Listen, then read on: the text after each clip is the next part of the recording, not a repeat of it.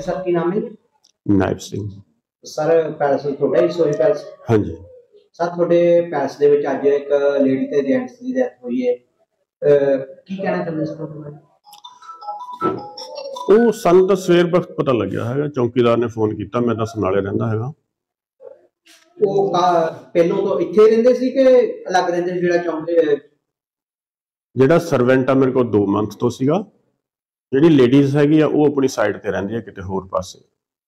ਇਹ ਕਿੰਨੇ ਟਾਈਮ ਤੁਹਾਡੇ ਕੋਲ ਨੌਕਰੀ ਕਰ ਰਹੇ ਹੈ ਇਹ 2 ਮਹੀਨੇ ਤੋਂ ਮੇਰੇ ਕੋਲ ਨੌਕਰੀ ਕਰਨ ਲੱਗਿਆ। ਅਕਸਰ ਇਹ ਪਹਿਲਾਂ ਮੇਰੇ ਇੱਥੇ ਫਾਰਮ ਤੇ ਆਲੂਆਂ ਦੀ ਸ਼ਾਂਟੀ ਵਗੈਰਾ ਕਰਨ ਆਉਂਦਾ ਰਹਿੰਦਾ ਠੇਕੇਦਾਰੀ ਸਿਸਟਮ ਦੇ ਵਿੱਚ। ਲੇਡੀਜ਼ ਦੇ ਕੀ ਸੰਬੰਧ ਸੀ ਇਹਨਾਂ ਨਾਲ? ਇਹਨਾਂ ਦੇ ਆਪਸ ਦੇ ਵਿੱਚ ਘਰੇਲੂ ਸੰਬੰਧ ਸੀਗੇ ਆਪਸ ਦੇ ਵਿੱਚ ਇਹਨੇ ਆਉਂਦੇ ਜਾਂਦੇ ਇਕੱਠੇ ਸੀਗੇ। ਪਹਿਲੀ ਪਹਿਲੀ ਪਹਿਲੇ ਘੜੀ ਤੋਂ। ਲੇਡੀਜ਼ ਪਹਿਲਾਂ ਤੋਂ ਹੀ ਆਉਣ ਜਾਣ ਸੀ ਆਹ ਨਹੀਂ ਇੱਥੇ ਨਹੀਂ ਇੱਥੇ ਤਾਂ ਜਦੋਂ ਗੱਲ ਉਹ ਜਦੋਂ ਆਲੂਆਂ ਦੀ ਸ਼ਾਂਟੀ ਹੁੰਦੀ ਹੈ ਇਹਨਾਂ ਨੇ ਇਕੱਠਿਆਂ ਨੇ ਕੀਤੀ ਸੀ। ਲੜਕੇ ਦੇ ਪਰਿਵਾਰ ਵੱਲੋਂ ਇਹ ਵੀ ਕਿਹਾ ਜਾ ਰਿਹਾ ਕਿ ਵੀ ਤੁਹਾਡੇ ਵੱਲੋਂ ਕਹਿ ਰਿਹਾ ਵੀ ਉਹ ਨਹੀਂ ਉਹ ਜੋ ਟੀਮਾਂ ਬਣੀਆਂ ਨੇ ਡਾਕਟਰਸ ਐਂਡ ਪੁਲਿਸ ਉਹ ਸਾਰਾ ਕੁਝ ਉਹ ਜੋ ਹੋਏਗਾ ਉਹ ਤੋਂ ਬਾਅਦ ਦੇਖਿਆ ਜਾਏਗਾ। ਇਹ ਕੌਣ ਆ ਜਨਾਨੀ ਕੌਣ ਆ ਜਿਹੜੀ ਡੈਥ ਹੋਈ? ਜਨਾਨੀ ਤਾਂ ਚਲੋ ਉਹਨੇ ਰੱਖੀ ਹੋਈ ਸੀ ਇਹ ਵੀ ਭੈਣ ਚੋਦ ਵਿੱਚ ਇਹ ਵੀ ਜਨਾਨੀਆਂ ਲਿਆ ਲਿਆ ਉਹ ਕਰਦਾ ਕੌਣ? ਆਹ ਨੈਬ ਸਿੰਘ। ਅੱਛਾ। ਇਹ ਜੀ ਜਨਾਨੀਆਂ ਦਾ ਇਹੋ ਜਿਹੇ ਕੰਮ ਕਰਦਾ ਕਿ ਉਹ ਪੈਸਾ ਬਹੁਤ ਹੈ ਇਹਦੇ ਕੋਲ। ਇਹ ਜਨਾਨੀਆਂ ਲਿਆਂਦਾ ਉਰੇ। ਲਿਆ ਲਿਆ ਕੇ ਗਲਤ ਕੰਮ ਕਰਦਾ ਤਕੜੀਆਂ ਤਕੜੀਆਂ ਕੁੜੀਆਂ ਲਿਆਂਦਾ ਪੈਸਿਆਂ 'ਚ।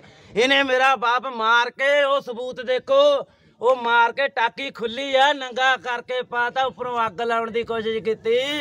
ਵੀ ਹਾਂ ਅੱਗ ਲਾ ਦਈਏ ਕਹਿ ਦਈਏ ਸਾਡੇ ਘਰੇ ਆ ਗਿਆ ਕਹਿੰਦਾ ਉਹਦਾ ਕੁੰਡਾ ਹੀ ਨਹੀਂ ਖੋਲਦਾ। ਇਹ ਨੈਬ ਸੇ ਕੌਣ ਆ? ਡੈਡੀ ਕਿੰਨੇ ਵਜੇ ਆਇਆ ਸੀ ਧੋਤੀ ਡੈਡੀ ਰਾਤੀ ਮੰਮੀ ਰੋਟੀ ਕਿੰਨੇ ਵਜੇ? ਕੱਲ 11 ਵਜੇ ਰੋਟੀ ਪਕਾ ਕੱਲ 11 ਵਜੇ ਆਪੇ ਰੋਟੀ ਪਕਾ ਕੇ ਮੇਰਾ ਬਾਪ ਆਪੇ ਪਕਾ ਕੇ ਲਿਆਇਆ। ਇੱਥੇ ਨੌਕਰੀ ਕਰਦੇ ਸੀਗੇ? ਹਾਂਜੀ ਉਰੇ ਨੌਕਰੀ ਕਰਦੇ ਸੀਗੇ ਇਹ। ਕਿੰਨੀ ਉਮਰ ਕਿੰਨੀ ਕੋਣ ਦੀ? ਚੌਂਕੀਦਾਰ ਨਹੀਂ ਆਉਂ ਉਮਰ ਆਈ ਸਾਰਾ ਕੰਮ ਸਾਂਭਦੇ ਸੀ। ਸਾਰਾ ਕੰਮ ਇਹਦਾ ਗਾਂਡੂ ਦਾ ਸਾਂਭਦੇ ਤੇ ਇਹਨੇ ਰੋਟੀ ਇਹਨੂੰ ਉਹਨੇ ਆਪਣੇ ਪੱਲਿਓਂ ਲਿਆ ਕੇ ਦੇਣੀ ਦੱਸ ਅਸੀਂ ਗਰੀਬ ਆ ਕਿ ਇਹ ਗਰੀਬ ਆ? ਸਾਨੂੰ ਇਹ ਦੱਸ ਦੋ।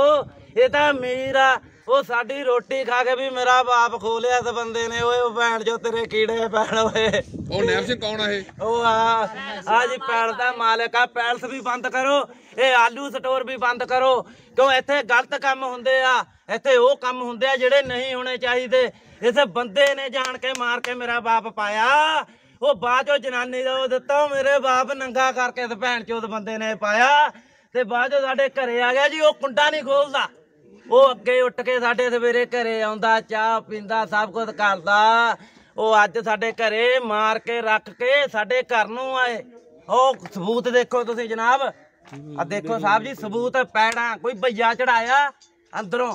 ਪਹਿਲਾਂ ਮਾਰ ਕੇ ਅੰਦਰ ਪਾਤੇ ਫਿਰ ਚਾਬੀ ਲਾਉਣ ਉਹ ਮਿਲੀ ਸੀ ਕਿ ਸੋਹੀ ਪੈਲੇਸ ਦੇ ਵਿੱਚ ਇੱਕ ਚੌਕੀਦਾਰ ਇੱਥੇ ਜਿਹੜਾ ਲੱਗਿਆ ਉਹਦੇ ਦਰਵਾਜ਼ੇ ਅੰਦਰ ਕੁੰਡੀ ਲੱਗੀ ਹੈ। ਅਹ, ਸ਼ੀਸ਼ੇ ਵਿੱਚੋਂ ਦੇਖਿਆ ਉਹਦੀ ਡੈਥ ਹੋਈ ਪਈ ਆ ਅਹ, ਆਪਣੇ ਮੰਜੇ ਦੇ ਉੱਪਰ ਜੀ।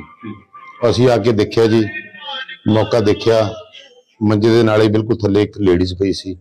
ਕੋਲਿਆਂ ਦੀ ਗਿੱਠੀ ਨੂੰ ਅਹ, ਕੋਲਿਆਂ ਦੀ ਗਿੱਠੀ ਕਰਕੇ ਇਹਨਾਂ ਨੂੰ ਗੈਸ ਚੜਨ ਕਰਕੇ ਇਹਨਾਂ ਦੀ ਮੌਤ ਹੋਈ ਹੈ ਤੇ ਆਪਸ ਕੋਈ ਸਵਾਲ ਸੀ ਹਾਂ 10-12 ਸਾਲ ਤੋਂ ਇਹਨਾਂ ਦੇ ਪਿੰਡ 'ਚੋਂ ਹੀ ਪਤਾ ਲੱਗਿਆ ਵੀ 10-12 ਸਾਲ ਤੋਂ ਇਹਨਾਂ ਦੇ ਰਿਲੇਸ਼ਨ ਨੇ।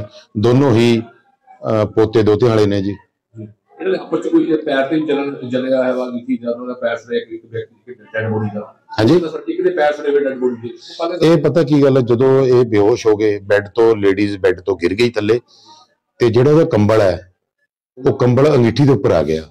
ਉਹ ਕੰਬਲ ਦੇ ਨਾਲ ਲੇਡੀਜ਼ ਵੀ ਅੱਧੀ ਝੁਲਸ ਗਈ ਥੱਲੋਂ ਤੇ ਜੈਂਟਸ ਦੇ ਪੈਰ ਥੱਲੇ ਲਮਕਦੇ ਸੀ ਉਹ ਜੈਂਟਸ ਦੇ ਪੈਰ ਝੁਲਸ ਗਏ ਉਹ ਖਾਸਾ ਜਾ ਕੇ ਕਿ ਸਾਡੇ ਫਾਦਰ ਦੀ ਡੈਥ ਵੀ ਖਤਮ ਕੀਤਾ ਹੋ ਸਕਦਾ ਵਾ ਇਹ ਨਹੀਂ ਨਹੀਂ ਨਹੀਂ, ਇਹ ਤਾਂ ਗੈਸ ਚੜਨ ਕਰਕੇ ਹੋਇਆ।